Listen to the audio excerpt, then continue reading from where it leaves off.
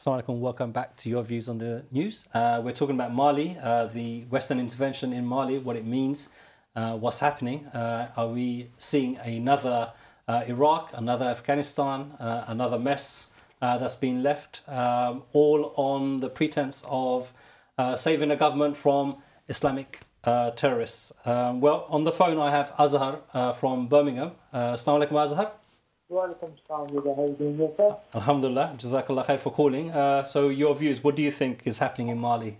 My views, the actions in Mali, like briefly, I've just uh, joined your show. My uh, interpretation is the West shouldn't be involving themselves because it's between their own countries. It's like there's Muslims everywhere. Islam is a very big religion which is expanding. Mm.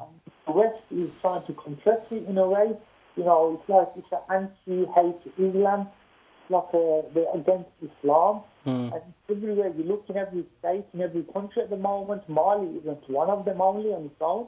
Mm. Segregation in a way, if you look at it, and if I'm wrong, then, you know, please tell me. And and and uh, you, uh, I get the point that you think the West shouldn't be involved, but now that it is involved, what what do you think its motives are?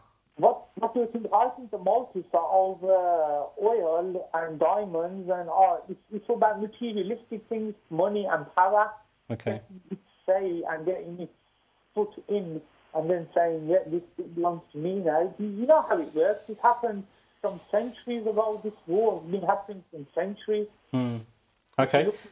Deep down under like closed doors and under these, these things, really. Do you agree, brother, or not? Mm. Okay. Well, th thank you, Azhar, for your views. Uh, let's go to Asma, who's calling from London. Assalamu alaikum, Asma. Assalamu alaikum, Asma. Wa alaikum salam. Um, I want to ask you just a question at the end of what I have to say. Sure. Um, China is actually making inroads into Africa, and that is really why the West wants to um, stop them because the West is running out of money, and where else to go but to Africa? Because it, it's a trade they've done for over 100 years or more. And, um, you know, the West been there so long, over 100 years, they went into Africa. And what have they actually done for the African people? Nothing. You know, you could still see people there with dirt roads, a well in the middle of of the city or the town where people have to go and get water. Mm. It's not even clean water, and yet this country has so much wealth, and they're still living in poverty. And the West um, wants them to actually stay that way so they could steal their wealth and um, and blame it on the Muslims. Mm. When it's there, who are the ones that are really benefiting? If you you see on the news that um, France, you know, depends on that um, on uranium to mm. light up Paris and what have you, and the people there still living in squalor and dirt, and you know the people there really need to be educated because um, they have the wealth and yet they're still in poverty and they're, mm. they're not thinking why they're still in poverty. You yeah. know, the West takes their goods yeah. and then it sells it back to Africa for thousands and thousands of pounds and then makes them even more poor so they'll be able to continue to steal their wealth. So mm. what I mm. want to ask this gentleman, that your guest, sure. is what... Um, the African themselves are doing to educate their people because I think at the end of the day, it's education because they see these Westerners coming in to help them, and yet they're the ones that put them in this predicament and why they're in this starving. You know, you hear on the TV, oh, we're collecting for Africa, and sometimes I see programs on TV mm, mm. where children with their ribs showing and they're dying, and, and they're saying, oh, can't you send three pounds? Yeah, they've got all the wealth. So yeah. what are yeah. Africa doing wrong? Mm. Why they're having to suffer like this? They mm. should be educating their people. Okay, uh, and not blaming it on Muslims. Okay, thank you, Asma. Um, well, the question... yes, uh, the um, Africans over the years have been educating their people, not only educating their people, organizing to reverse this kind of situation, mm. and it's not just that people blame the West, but the West has also intervened in these processes. For example, Bamako, Mali. was supposed to host the fourth All Africa People's Conference under Modibo Keita. The All Africa People's Conferences were introduced as one of those forums, not only to educate the African people, but also train patriots. In fact, Patrice Lumumba was one of the first beneficiaries of the first All Africa People's Conference, went back to his country, radicalized from the All Africa People's Conference, and the rest of it is history. For those of us who know about uh, Patrice Lumumba, Yeah. after he went from there, he met Nkrumah, he became part of the steering committee of the All Africa People's Conferences, went there. It's the same West that intervened. See, they complain that Africans are not educating themselves. African governments are corrupt. But whenever there's a government which is not corrupt, like Patrice Lumumba was not even allowed one year to Yeah, rule. yeah. So how do you prove whether he's corrupt or not? Hmm. And for all those people who served on the All Africa People's Conferences coordinating committee, somehow they were all eliminated one by one. Amilcar Cabral, we are just marking the 40th anniversary of his assassination. The man who led Guinea-Bissau and Cape Verde against Portuguese colonialism in the struggle. Yeah. Frantz Fanon, question marks about how he died. Patrice Lumumba, uh, Yeah. uh, Felix Moumié. So um, the fact is that there is a way in which the people who provide the kind of education which is needed to change the situation and commit their lives, the Kwame Nkrumahs and co, there's the West again which intervenes, pays Doesn't elements to, uh, flourish. destroy it is. So what we have to do is how we organize ourselves now to stop these interventions by the West. But it's very difficult. Some of the difficulties is as a result of the kind of training we even give this our military bosses who should be fighting to protect the continent from this intervention. Like I was conversing with you, all these military bosses, including the man Sanogo who uh, staged the coup in Mali, are trained in the West. Their lecturers and professors are the FBI, CIA, and MI6 uh, operatives. You know how school is like. All of us maintain good relations with our teachers. Hmm. As a result of this, these people maintain good relations with their teachers, who hmm. are the CIA bosses Yeah. and all. And I can tell you that when you go to various African countries, the CIA boss even mixes freely with rank and file soldiers more than the uh, president of the republic. So we actually have a crisis. Hmm. This is why it is important that we use spaces like this program for those of us who want to intervene to raise the consciousness of our people so that we have a counterculture different from the cowards and opportunists who rule Africa today. Okay, well, let's uh, go to our phone lines. Uh, Peter, California is online. Assalamu alaikum. Good evening. Assalamu alaikum wa rahmatullahi wa barakatuh. Wa alaikum assalam. Uh, your views, please. Yes, I simply want to say, obviously, finding a solution is very difficult. I don't have a solution. Mm. But I am curious, why is there not a Islamic voice mm. um, basically standing up globally to either provide both sides or at least the Muslims' voice, whether they call them militants or not. I think they deserve to be heard, and if if they are saying something bad, if they're saying something good, the world should hear. Hmm. Why isn't there someone standing up? Are, are you, is the question you're asking uh, why is the media not interviewing uh, the other side, or uh, or are you asking like generally why is there no one in the Muslim world standing up to what's happening? I think generally is correct. Why isn't there anyone, in particular, a Muslim corporation? Okay, um, uh, we'll uh, take that on. Thank you, Peter, uh, for your call. Uh, let's go to Ibrahim, who's calling from Ghana. Assalamu alaikum, Ibrahim. Ibrahim. Uh, yeah, thank you very much. I'm enjoying the exposition this evening in Ghana.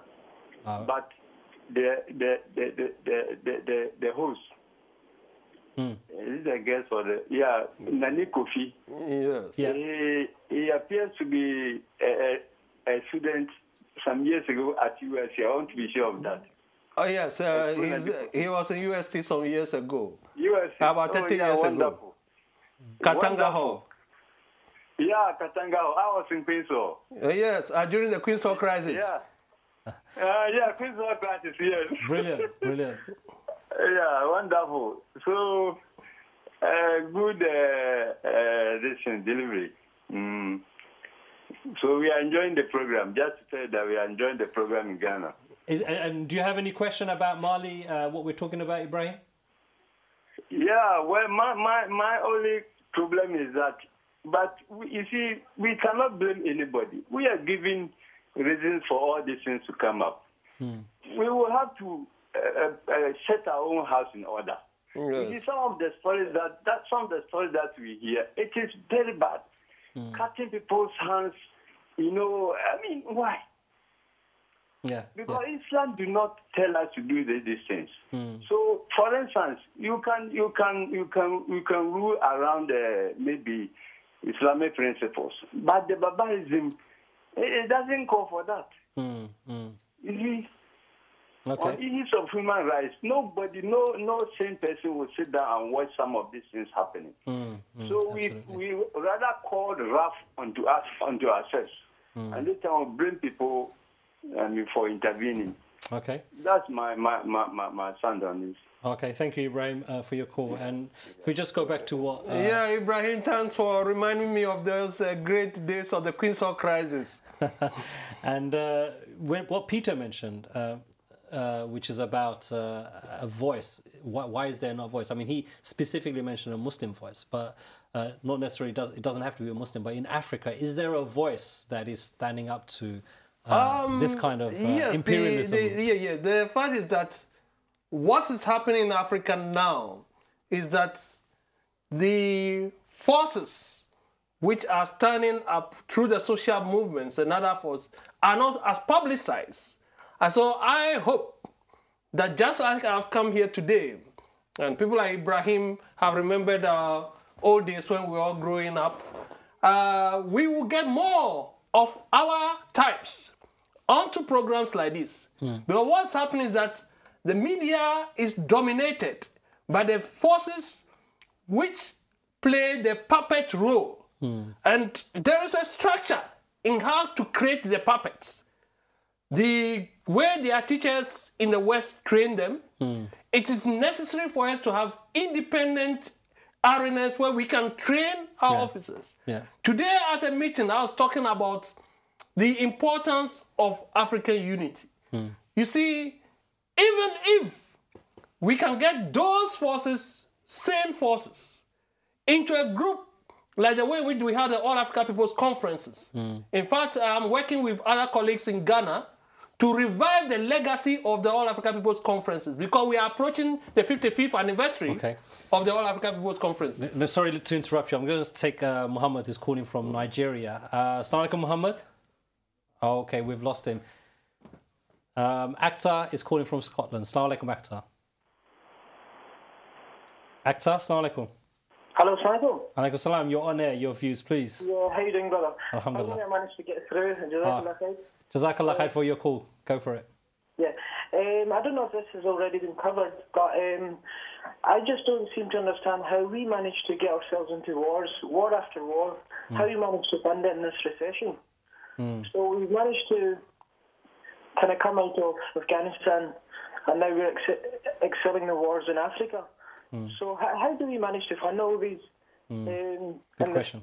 times of tough economic times? So I just want to understand that. Okay. Thank you, Akhtar. Uh, good question there. Let's go to Fatima, who's calling from London. Assalamu alaikum, Fatima. Hey, salam alaikum, brother. Wa alaikum salam. Uh, How your are you? views. Yes, I'm commenting from Ghana. I'm a Sierra Leonean, but I've been following this election. Hmm. You know the gentleman that is standing against John Mahama? That gentleman, I've been watching all the um, Hmm. the the debate and everything. The gentleman could just leave the president alone. He deserved what he had, and they should listen to the voice of the Ghana people. That man is just a desperate foe. Honestly, he's just too desperate. I don't like him. We're dealing with young people. John Mahama is young, and I like him. Just the man, just leave the man alone. Okay. I really don't like that man.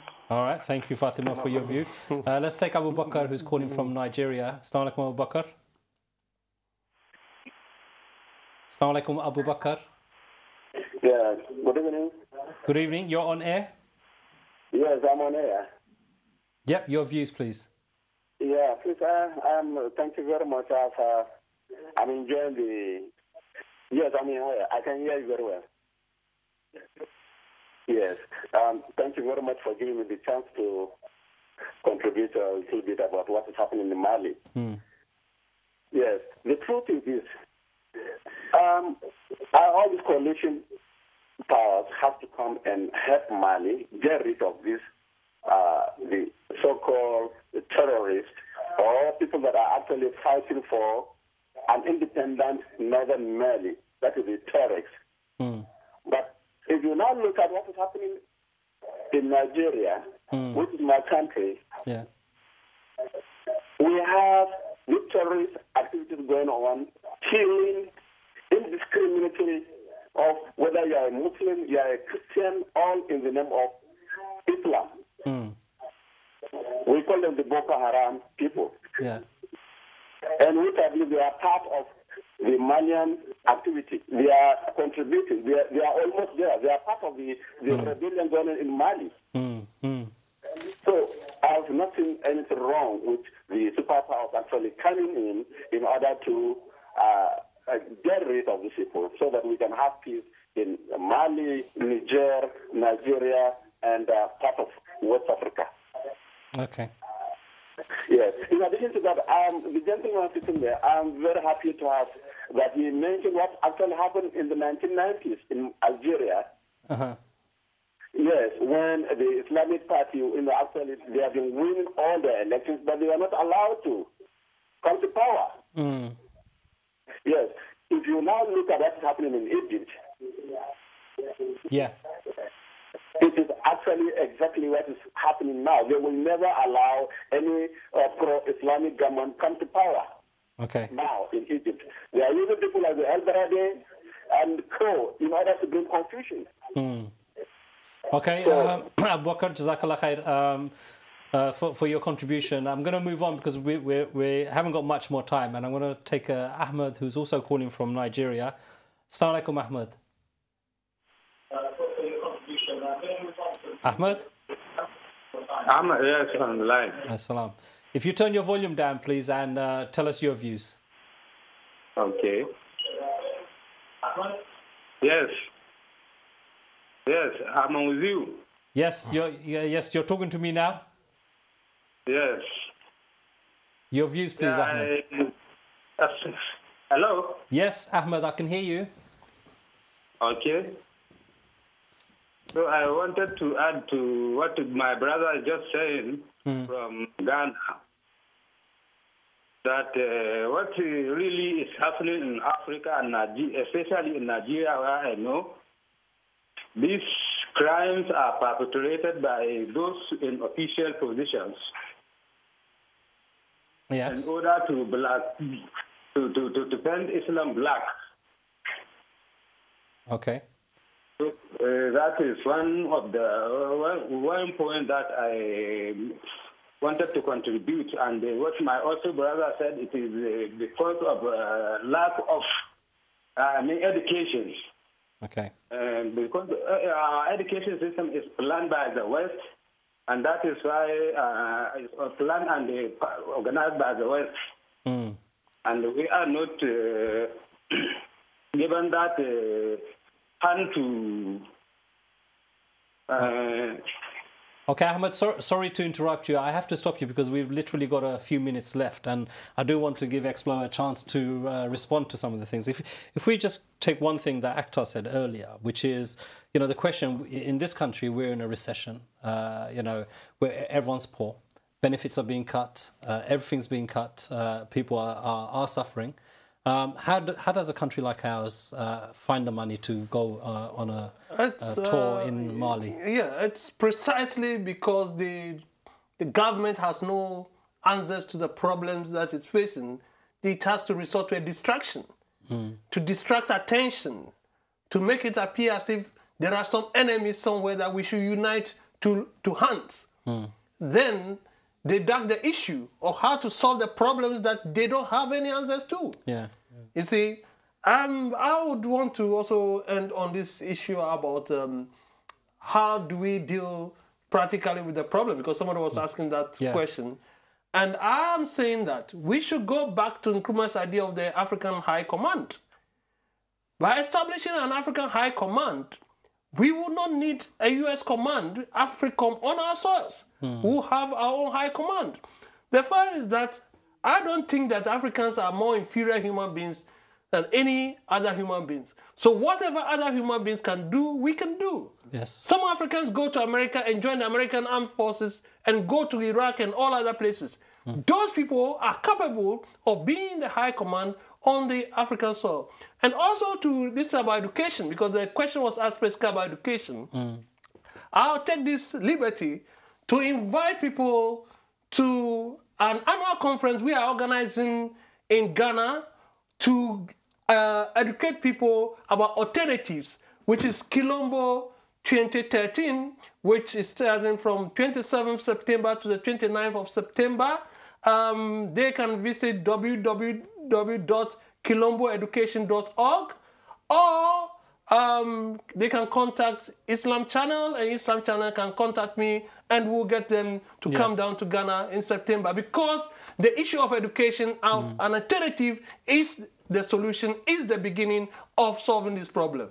And uh, just finally, uh, the point about uh, the people in power, uh, because you, you know you said uh, it's corrupt. They're they're working at the uh, benefits or behest of their teachers, which is the West. But we do see ordinary people then vote these people back in. Is that going to change? Yeah, that's why we have to uh, develop a certain mechanism. One, you see, these people get into politics as if it's national lottery. I was talking to some people, and I said, look, people remember Nkrumah a lot in Ghana. Whether he's gone, even the people who claim they are his followers, nobody votes for them. But Nkrumah's name is remembered by everybody. Hmm. When Nkrumah went to the 1945 Pan African Congress, it took six years for him to become leader of government business. It took another six years for him to become prime minister. So he prepared. He had a vision. You meet some of these people who have become presidents, they themselves never even dreamt Hmm. that they would get into that position. It falls on them like a national lottery, and they are not prepared for it. They will have no vision. Hmm. So that's the main reason why we even have to have this education program. We have to build grassroots organizations, which we have to prepare future leaders. In fact, the first radio program I ever participated in was called Leaders of Tomorrow. That time when we were students, during the same Queen's Hall crisis that Ibrahim was talking about. Yeah, yeah. And two of us participated in that program. The other person is now the minority leader of parliament in Ghana, Mensah Bonsu.